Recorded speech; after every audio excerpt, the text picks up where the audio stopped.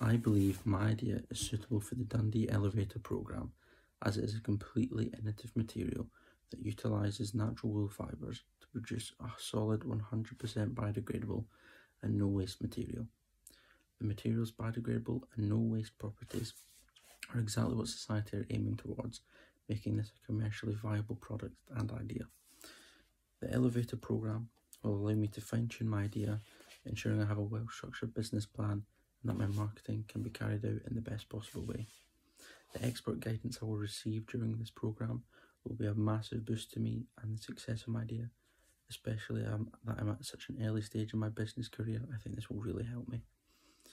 Um, I've already received recognition for this idea that I've been doing by winning the Harley Stevenson's Award in Innovation and Sustainability, and the University of Dundee Chancellor Ian Gillespie commended me on my work I did during BioWill.